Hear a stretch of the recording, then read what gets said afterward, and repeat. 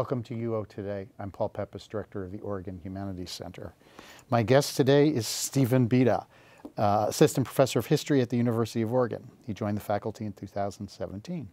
Beda's research interests include 20th century U.S. history, labor history, and environmental history. He has a particular interest in the Pacific Northwest, timber workers, and working class radicalism in the American West. Beda's current book project is Strong Winds and Widowmakers, a history of workers, nature, and environmental conflict in the Pacific Northwest Timber Country, 1900 to the present. Thanks, Steve, for coming on the show. Thank you for having me. So let's start at the beginning. What led to your interest in labor and environmental history in the Pacific Northwest? All right. So I had been interested in labor history going back to my kind of early days as an, as an undergrad. Um, I thought the radicalism and some of the stories of labor protest were, were always fascinating. Um, but I actually didn't become interested in the environmental side of it until I moved out to the Northwest. I did my graduate work at University of Washington.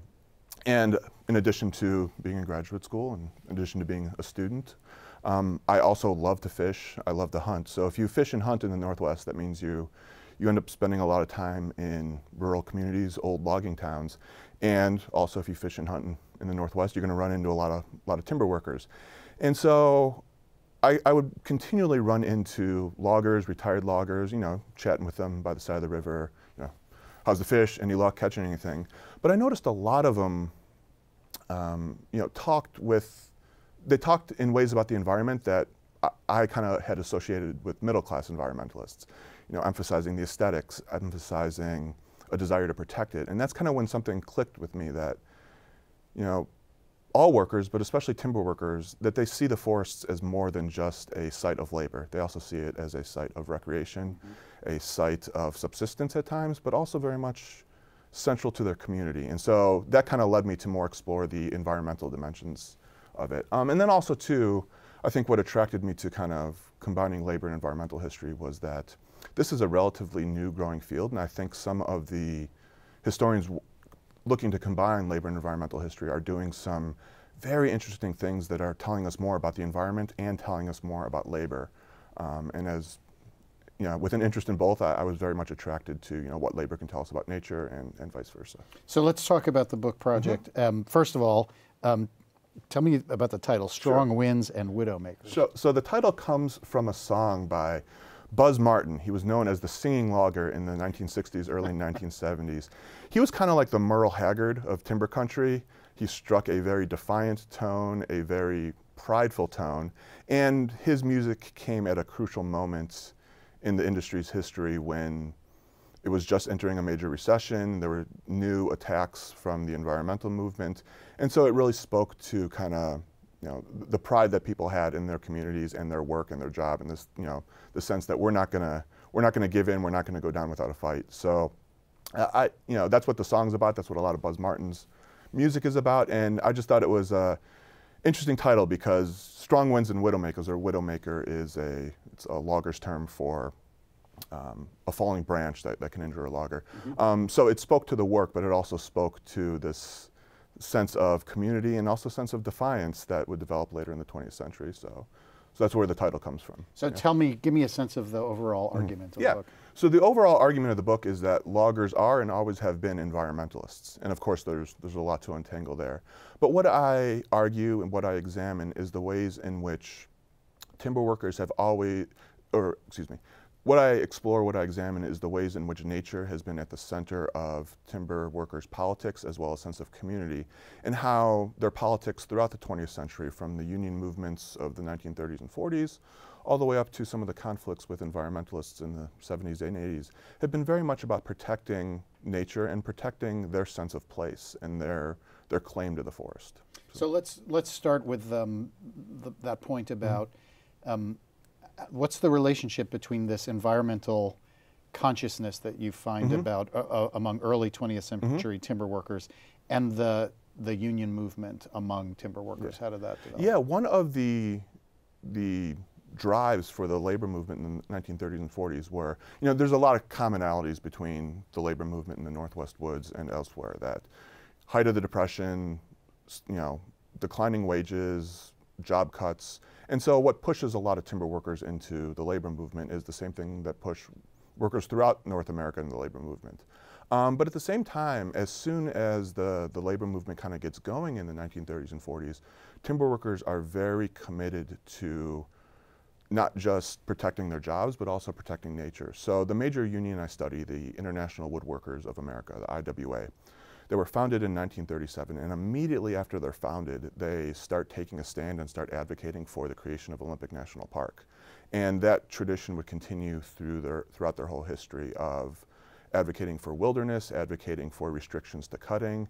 They were a major supporter of the 1964 Wilderness Act. Um, so part of what was really driving unionism was this, you know, workers wanted a say and they wanted some power to, to impact how the forests were used and they wanted some say in mandating wilderness and mandating, you know, making sure that there were areas that areas that, yeah, they could cut, but also areas that they could go and hunt and fish and take their families to.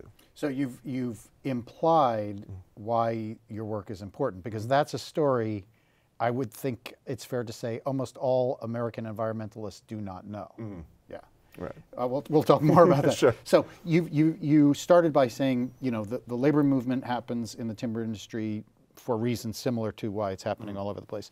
One of the things that's interesting about your work is the way you illuminate for us or recover for us a complexity in these movements mm. that um, that we may be less familiar with. So, on the one hand, I know, for example, that you you talk about um, working classes as a plurality. Mm -hmm. So, say a little bit about the the sort of distinctions between the working classes. right.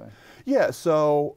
You know, I think this is true in, in most American history, but especially the 20th century, is that you know, American workers have long been divided by ethnicity, long been divided by race, long been divided by gender, divided by occupation, skilled versus unskilled, um, divided by rural versus urban status. Um, so yeah, I don't think it's ever accurate to talk about the work, the American working class. Sometimes we labor historians, we, we try and find a kind of singular class in which workers overcome racial divisions and ethnic divisions, and there are moments when that happens. But you know, for, for the most part, the American working class has been very, very fractured. And so, yeah, why I emphasize classes instead of a singular class is that we have to think about race, we have to think about ethnicity, we have to think about gender. And what my work does a lot of, of thinking about kind of ruralness and how that impacts the ways workers understand themselves as a class, as a community, and that also impacts how they see themselves in relation to both employers as well as the rest of the kind of you know, political landscape. So let's talk about some of those mm-hmm. divisions. Mm-hmm. You raised the uh, rural-urban mm-hmm. divide. So say a little bit about the, the sort of general distinctions you find between rural uh, union members and, and um, urban union mm-hmm. members. This was definitely more pointed or, or kind of more apparent in the, in the earlier 20th century is that uh, especially here in the Northwest, urban, or yeah, urban Union members, especially World War I and then definitely in World War II, as industry built up in the northwestern cities, the shipbuilding industry, Boeing, um, a lot of the wartime industry, those workers were paid extremely, extremely well. And so too were timber workers and other rural workers in the mid 20th century. Um, but as the wages of urban workers increased and they could afford cars and they had more vacation time, they started going into you know, rural communities for, for vacation and they started to see forests as recreational spaces. And timber workers too saw them as recreational spaces, but they also saw them as, as workspaces. And so that created new tensions about how do you manage nature? What do you privilege in the management of nature? Do you privilege production? Do you privilege recreation? And so that created a lot of divides between the working class here in the Northwest, the urban versus rural working class. Now, one of the things I kind of reveal in my work is that, you know, those categories could shift or based on, you know, the pressure that some groups could apply. So in the 1940s, there was a big effort by the IWA to enact new, very significant cutting restrictions. They ultimately failed in that, but they were able to swing some urban workers in the Northwest, but also nationally, more to the cause, more to kind of their working class environmentalism cause. So, so it definitely shifts, and that's the thing too with with all these categories: race, ethnicity, gender. They're, they're constantly shifting, mm -hmm. which means class is constantly shifting, or the meanings of class is constantly shifting. So in the Pacific Northwest, we know uh, now one of the things that that's come home to us as uh, uh people who live in Oregon. Mm-hmm. Uh, is the history of racism in the state mm-hmm. of Oregon, and and in particular the kind of vitality of the KKK during this period Absolutely, that you yeah. study. So talk a little bit about the role that the KKK played, the, the Ku Klux Klan played in at this time or around uh, the labor union movement? Yeah. So in some regards, and this is another, I think, important division between kind of urban and rural workers. So the, the Oregon Klan in the 1920s, it, it transcended class. It was a working class movement, a middle class movement, an upper class movement. Um, it was both urban and rural. Um, it was very entrenched in Oregon's political system. Um, so that, that kind of created one of the other divides between, um, you know, rural workers and urban workers. So most of most timber workers were, were immigrants. Many of them came from Scandinavia. Many of them came from Italy and Eastern Europe. Many of them were Catholic, which the 20s era Klan very much you know, was opposed to, or opposed to Catholicism. Mm -hmm. um, whereas urban workers tended to be more native-born, tended to be white. There were, of course, plenty of workers of color in Portland and Seattle, but workers represented in unions were overwhelmingly white. And at certain points, especially in Portland, we see some alliances between the Klan and the more conservative elements of organized labor. So that creates a new division that uh, urban workers aligned with the Klan are advocating for anti-immigration policies, anti-Catholic policies, anti or pro-public school policies, um, and what they're doing then is attacking many of the immigrant working class communities that you know, grew up around the, the timber industry in, in rural Oregon. So uh, let's also talk about um, the role of um, women in mm-hmm. the timber industry. What, what, what kind of jobs they do and how are they yeah. involved in the labor movement? Yeah, so this is another fascinating thing I uncovered in the course of my research is, right, we think timber workers, we think very masculine men, you know, hyper masculinity, and, and that was definitely part of timber working culture. Um, but when the industry emerged in the early 20th century, I mean, there had been a timber industry prior to the early 1900s here in Oregon, but it was, it was very small. And starting with Weyerhaeuser's purchase in 1905, that, that leads to a, a massive explosion um, of industrial logging. And so when, when companies start kind of moving out here and establishing logging operations, one of the first things they realize is that there's not enough people here to, you know, to support an industrial logging operation. So they start recruiting a lot of, of people. Now, one of the things that early 20th century lumbermen were really, really worried about was radical labor unionism. Early 20th century, there was the IWW, a very radical union. There were, you know, there was the Pullman strike in the 1890s, a lot of very high profile, often violent strikes. So when timber workers, or excuse me, when lumbermen are building up this new infrastructure, they want to make sure it's as peaceful and as free of industrial strife as possible. And one of the ways they do that, or one of the things they reason, is that, oh, a lot of these other labor problems have been caused by single men. They have no responsibilities. So mm. they'll just go off on strike. They don't have to worry about feeding a family. And so lumbermen reason that if we have women, if, if we recruit married workers with wives, those workers aren't going to just go on strike. They aren't going to engage in labor activism because they have to worry about feeding their families.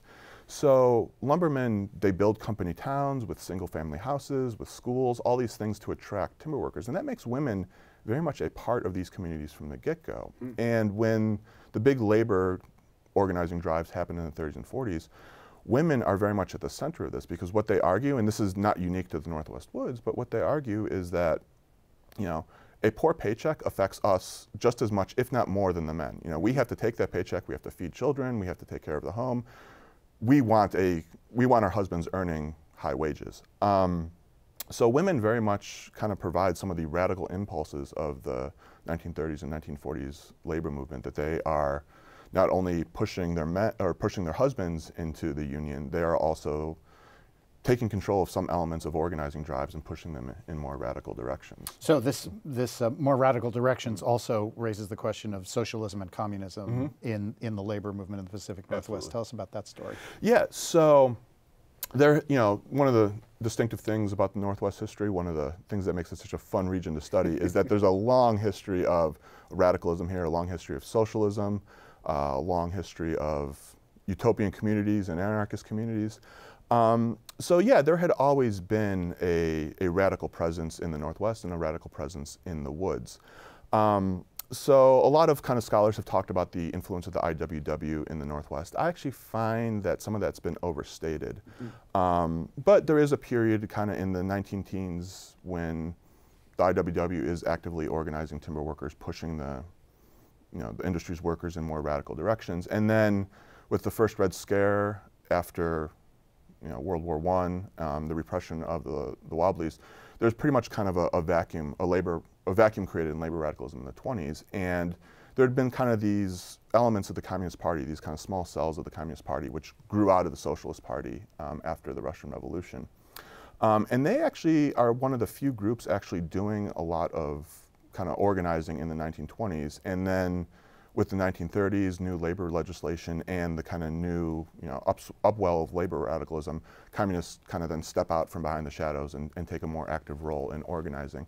Now, this is one of those things that kind of historians argue about is to what extent did most timber workers actually believe in communism? Mm -hmm.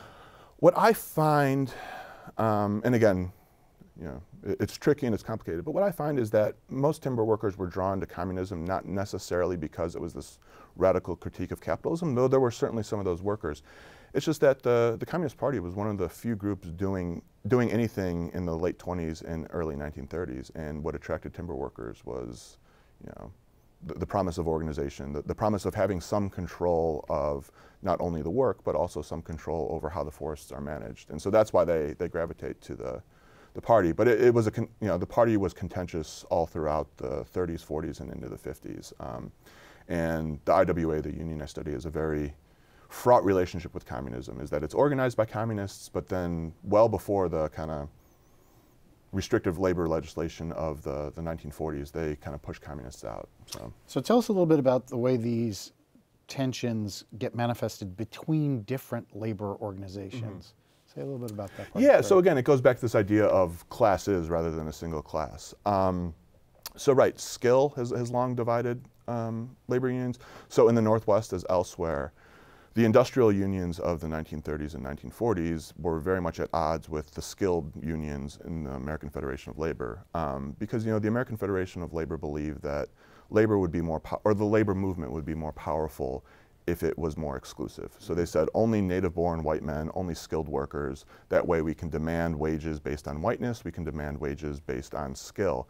And they thought that allowing women, allowing unskilled workers, allowing workers of color into the ranks would very much dilute labor's prestige and therefore dilute its power. Whereas the IW, and this is where it gets tricky, and this is where, as a labor historian, you got to be careful about talking in acronyms. Yes. Yeah, sometimes I'll do this in my classes, and I'll see my students eyes glaze over. I'm like, oh yeah, I'm just spouting off acronyms. Yeah. But the IWA was a member of the Congress of Industrial Organizations, the CIO, which was a very different view of unionism.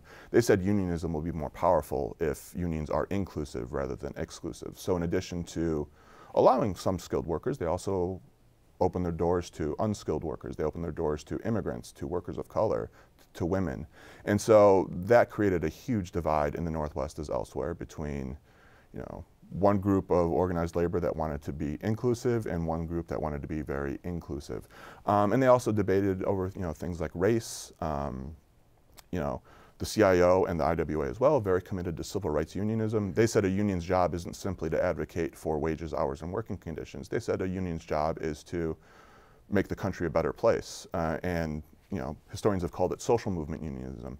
And the AFL thought that was, you know, a fool's errand. They thought that that was only going to complicate labor politics and make it more difficult to organize for um, better wages uh, on the job. So, hmm. yeah. So I'm going to switch gears a sure. little bit. So, um, describe a time when loggers and environmentalists had similar goals. Yeah. Is there such a time? Absolutely. From roughly the 1930s to 19, mid 1960s. Um, so what we have to understand about environmentalism in the early 20th century is that it looked very different than it does today. So environmentalists of the mid 20th century, many of them came from rural communities. You know, Aldo Leopold and Howard Zahniser, who was go on to be the you know, head of the Wilderness Society. Zahniser, I believe, came from rural Pennsylvania, coal country in rural, rural Pennsylvania. So they had a view of rural communities very different than many environmentalists from urban areas have today. Um, many of early environmentalists too had had kind of one foot in you know, the industry. So Aldo Leopold famously was, was a forester for the U.S. Forest Service. Right. And he was very critical of the Forest Service, but he also understood the important role played by timber production, that, you know, our houses and all our furniture is made from lumber. Um, so I think those two things very much created, not necessarily, you know, they weren't necessarily coming from the same well, they were in some regards coming from the same communities, but they understood one another. Is that these environmentalists understood where the rural workers were coming from, and the rural workers understood where the environmentalists were coming from. So that created a lot of common ground. So yeah, throughout the 1930s, a lot of big pieces of environmental legislation or new wilderness protections were accomplished through a coalition of workers and environmentalists. So I mentioned earlier the um, effort to um, create Olympic National Park. That was pushed by many environmental groups and workers. And we see that all throughout the 1950s. Um, Three Sisters Wilderness here in Oregon, that was a product of a coalition, uh, the Wilderness Society working with the IWA, um, and up until the 1964 Wilderness Act. Uh, that was passed with the support of the IWA as well as the support of um, the Wilderness Society. And actually, um, Frank Church, who was one of the architects of the Wilderness Act, as well as um, several other senators throughout, um, throughout the country, they said that having timber worker support for the Wilderness Act, Act, was key to the bill's passage because you had timber companies coming out and saying like, oh, this is going to kill jobs, this is going to kill the timber industry, we're not going to have any lumber for homes. And they were able to point to the workers and say, no, we got workers right here saying they want this and this is not going to kill their jobs. And so that kind of helped push it through. So what what went wrong? that is what I spend roughly the last half of my book uh, kind of dissecting. So, um, you know, one of the things that many historians have kind of looked uh, looked at this before have emphasized is the environmental movement changes. It becomes less urban, or excuse me, it becomes less rural, more urban. And as people from cities, th they have a very different view about kind of nature. They, they, tend to see it more as a recreational space and they don't make as much room for production. So you know, an environmentalist from Portland or Seattle drives out to timber country for a weekend backpacking trip and they see a clear cut and they're like, oh my God, this is horrible, which a fresh clear cut does indeed seem alarming. Um, but what they, you know, didn't factor in was that, you know, a clear cut, all forests are dynamic spaces and, and those will change and they'll regrow. Um, and also what they often failed to consider was that uh, the lumber their houses were built out came from that clear cut. Um, so they start very much you know, emphasizing that we have to protect nature for aesthetic purposes, for recreational purposes, and that pretty much pushes production or people who want to advocate for production out, which pushes workers out. So that's one of the main thing other historians have looked at, something I absolutely agree with. The other thing, though, that I pay attention to in my book is popular culture, mm -hmm. is that if you look at cultural products from the 30s, 40s, and 50s, um, timber workers are very much championed as not only progressive, but also environmentally progressive. Mm -hmm. Whereas in the 60s, with books like Sometimes a Great Notion, we mm-hmm. start seeing this view of rural workers broadly, but timber workers specifically as reactionary, as, as stuck in the past, as part of this outmoded frontier culture. And when environmentalists start encountering timber workers, they're bringing those popular cultural ideas with them. You know, when they see a timber worker, they're not seeing someone with a long history, or part of a community that has a long history of environmental protection. They're seeing the stampers from sometimes a great notion. Mm-hmm. Um, so I think, yeah, they, they get this new image in their mind of who timber workers are that doesn't line up with reality, but it was, that is how they were encountering these communities was, was through popular culture that, you know, said one very specific thing that wasn't necessarily true. So what can we do to heal this rift? That's another, another great question. Um, yeah, I mean, again, it, it's a complex question. I, I, think one of the most important things is, is, is talking, is, you know, for both sides to see that the other are not their mortal enemies. You know, so I talked about kind of timber or environmentalists having a view of timber workers based on popular culture. Something happens too in timber working communities. We talk, you know, that's where Buzz Martin's work comes in, is, is right. kind of defining insiders versus outsiders, and everyone who's not part of this community is an enemy. Um, so I, I, think we have to, to, get past that, and one of the ways you, you do that is through talking. Um, and I think one of the ways you do that is through collaborative partnerships. So just before kind of we started filming, we were talking about Peter Walker's excellent new book about Harney County and about the history of collaboration. And I think what went on in Har Harney County that ranchers and environmentalists and members from the Burns Paiute tribe and all these people getting together who had long been enemies agreeing to sit down and have difficult conversations, I, I, think that's a first step. And as we can see in Harney County, it's, it's really paid dividends. So to the extent that politicians, environmentalists, and working class communities can facilitate those sorts of, of very difficult but very necessary collaborative discussions, I think that's the way we move forward. Um, but again, there, there's challenges here. We have, you know, since the, this kind of conflict has been growing since, since the 60s. So there's 50 years of history and 50 years of acrimony to overcome. So I'm not saying it's easy. Um, and again, I always try and push my students past platitudes. And it seems like a platitude to say like, oh, just get everyone in a room and sit mm -hmm. down. But again, I, I, I would point to Harney County and say that as simplistic as that sounds, we see there that it can have results if, if people commit to it. And that's what it, I think it'll take is, is all the sides committing to having these very difficult conversations about how to manage the forest in the future. So we've got two minutes left. All right. Last question. Sure. Um, how are you how are you making this case in your classes? How, how do you bring this into the classroom? Mm. Oh, that, that's a great question. Um, oh man, you, you, had to save that one with only two minutes left. Yeah, yeah give me the, the uh, well, concise. Yeah, I mean, so I think mostly what I do is try and introduce them to sources that they wouldn't encounter about environmentalism. So introducing the, you know, having them read some sources from the Timber Workers Union that are talking about environmentalism and getting them to consider the ways in which, you know, the way that they may be thinking about who isn't, isn't an environmentalist, you know, might be flawed.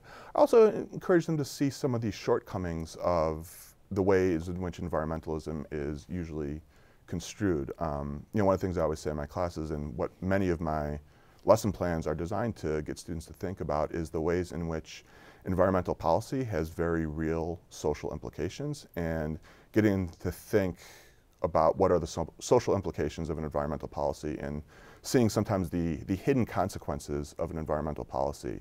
Um, and again, getting them to talk about what social consequences might be and how do we think more holistically about social policy and environmental policy. Well, um, that effort may help uh, to bridge that divide over mm -hmm. time. Maybe that generation will make those. I know, hope so. build those bridges. Indeed. Steve, I want to thank you for talking to us today. Oh, it's been a real you. pleasure. Absolutely.